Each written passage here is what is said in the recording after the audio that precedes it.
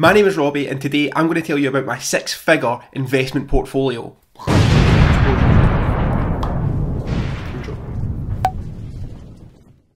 I seen somewhere online if you act really excitable and try and be as in your face as possible at the very beginning of a video, the engagement's better, like a Mr. Beast video. I don't think it's for me, not my style. I think we'll just stick to the videos being normal. What's happening folks? My name is Robbie and we are now into April and you know what that means? Portfolio update. So if you follow me for a while, you'll know that every quarter I post a video on my channel breaking down my full investment portfolio. That's index funds, individual stocks, cryptocurrencies, forex, and I've also added a new category as well. You'll see that later in the video. And before I begin, I just want to put in the usual caveat. This video is for informational purposes, educational purposes. I don't want anyone thinking I'm trying to brag or flex on people. This is just a breakdown of what I've invested my money in and some points on why I've bought this or why I've sold that. I love seeing other people's portfolio updates and what things they're investing in. I find it interesting seeing how other people structure their portfolios and why they may be investing in certain companies or not investing in others. And it's also nice watching other people's portfolios grow over time. That's why I upload these videos each quarter. Ideally the portfolio is always going to be bigger than the previous quarter. So I hope you can maybe take something from this video, be it a bit of information, some entertainment or both. And the last point before I get started, I am aware my voice sounds a little bit croaky. I think I look quite tired as well. This morning was my first day out of isolation, so I've been stuck at home feeling unwell for the past week. But this morning, I was allowed to leave the house. Where did I go? Where do you think?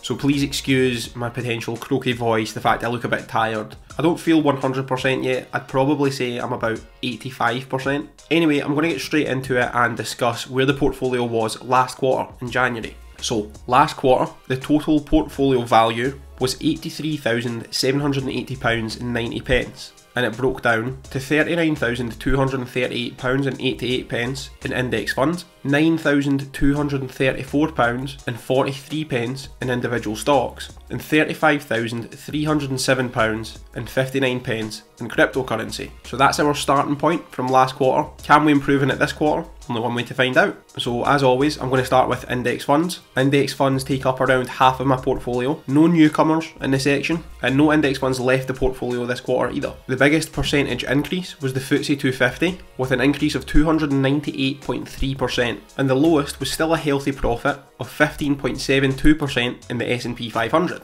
So taking it from the top, we have the S&P 500 at £42,776 and 9 pence. This is my biggest holding in the portfolio.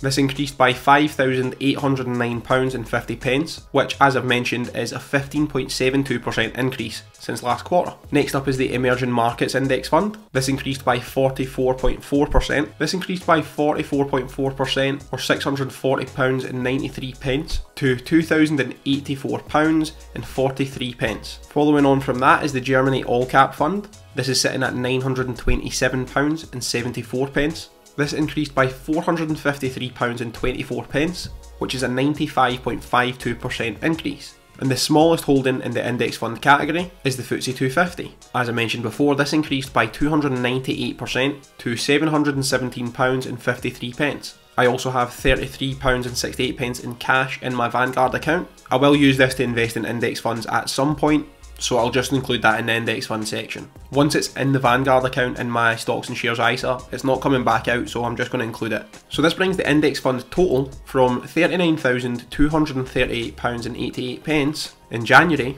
to £46,539.47. That's an 18.61% increase of £7,300.59. Next up on the list is individual stocks, this is typically the category that most people find interesting. There has been a few movements in this category. Tesla is gone. I was of the opinion that Tesla was massively overpriced and I didn't want to have my money tied up in it if it was to come plummeting down, which I think may happen at some point. So I sold. I also finished the coin flip versus the stock market experiment. If you want to see that video, I'll put a link in the description, but this meant I sold the following shares. Spirax Sarco, Experian, Halma PLC, National Grid, JD Sports, Hikma Pharmaceuticals, Intertek Group, Rolls Royce, and Rio Tinto. There are, however, eight newcomers in this category as well. Four big hitters in the form of Facebook, Netflix, Google, and Amazon. I also added four smaller holdings within the eToro account. This is now a small account that I'm just going to use as a little dividend portfolio. So this has Shell, BP, Imperial Brands, Persimmon, and Evraz. My thought process here is I plan to hold all of these stocks long term, and every time they pay a dividend,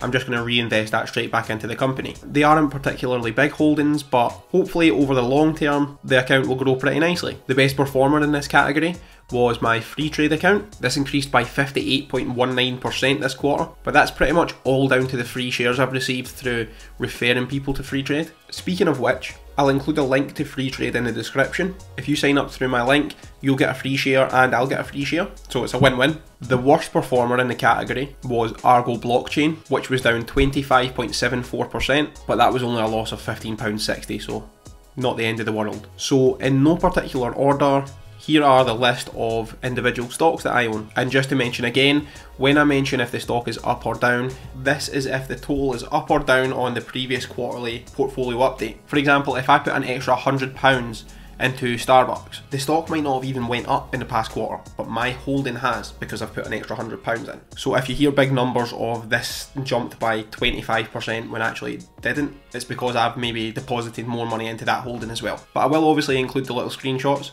like this one, so you know that I'm telling the truth and what my holdings are. I wouldn't have any reason to lie about it anyway because why would I go out my way to make this video to just lie? It doesn't make sense. Anyway, I'm going to bang through these pretty quickly because I don't want to bore you with 25 minutes of me just going through every individual stock. So, Warehouse REIT down 0.58% to £671 and 10 pence. Berkshire Hathaway up 21.8% to £542 and 36 pence. Apple up 1.66% to £819 and 20 pence. IAG up 1.79% to £280 and 12 pence. Starbucks down 19.29% to £348 and 55 pence. Starbucks was a bad example of a company I might have put money into because I didn't and they've went down nearly 20%.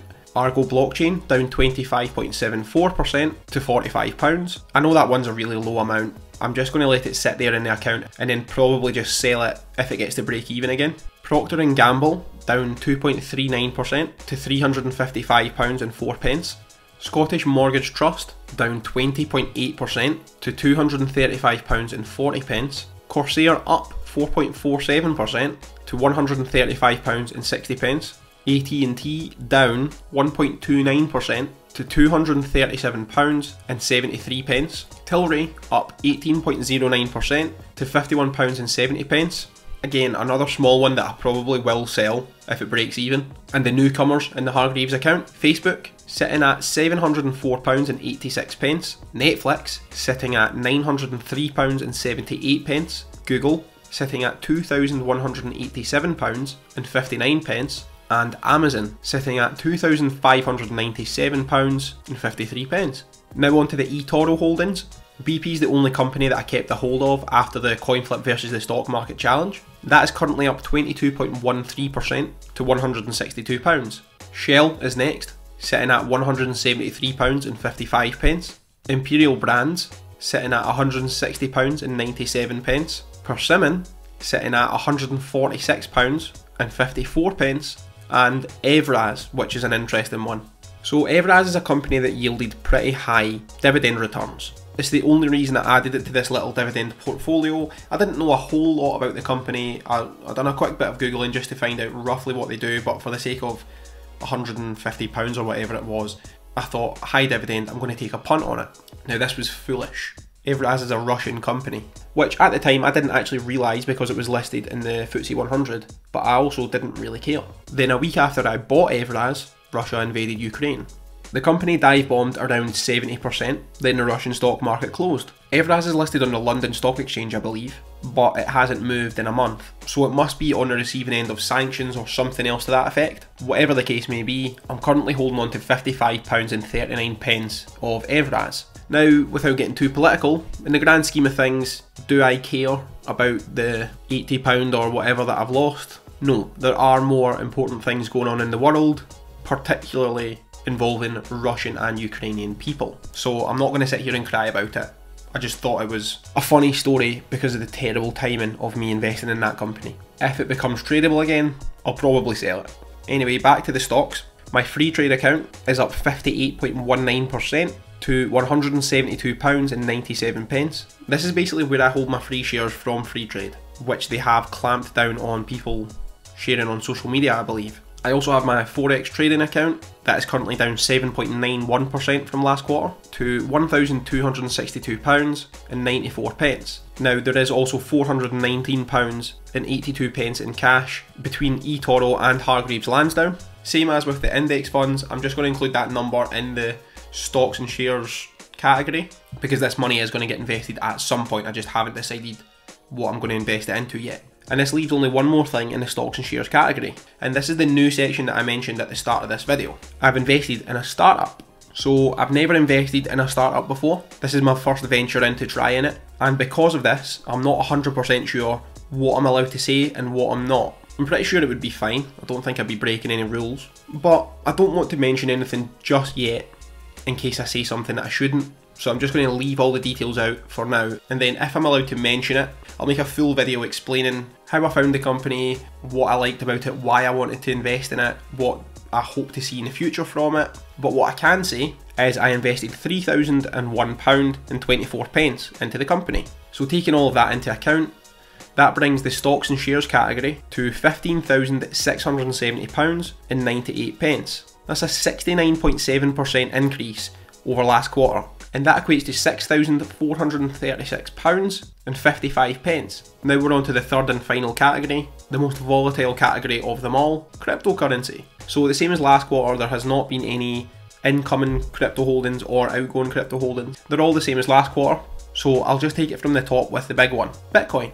So over my Binance, BlockFi and Coinbase accounts, my Bitcoin holdings currently sit at £27,945.81. pence. This is an 11.73% increase of £2,934.78 pence from last quarter. Next up is Ethereum, which is actually down from last quarter, sitting at £4,992.72. pence. Ethereum is down 6.31%. Luna is next on the list, sitting at £3,430.40. pence it has increased by £772 and 78 pence. This equates to a 29.08% increase. Ripple up 2.64% to £303 and 35 pence. Cardano is down 13.41%, sitting at £170 and 49 pence. Solana down 35.92% to £425 and 20 pence. Shiba Inu, still don't know why I bought this, down 20.17% to £136.31. pence. And last but not least, potentially the worst investment I have ever made in my life, Floki Inu, sitting at £446.74. pence. This is a 54.57% drop since last quarter. Overall, it's around a 75% drop since I bought it. Why did I do that? Why? Either way, this brings the total crypto holdings to £37,851 and 2 pence. This is a 7.2% increase of £2,543 and 43 pence. So that is my whole investment portfolio, top to bottom.